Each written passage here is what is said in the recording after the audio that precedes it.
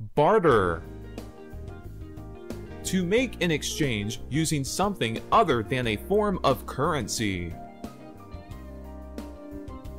Since I do not have any money, I'm hoping I can barter my maid services in exchange for much needed lawn care.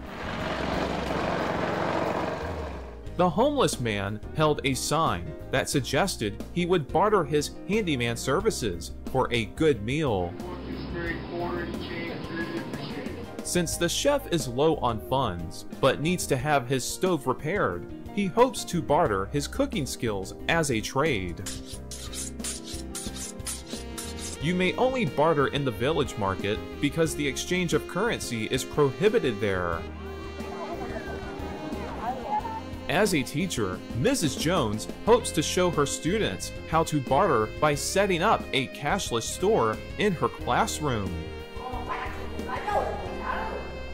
Barter, to make an exchange using something other than a form of currency. Barter, to make an exchange using something other than a form of currency.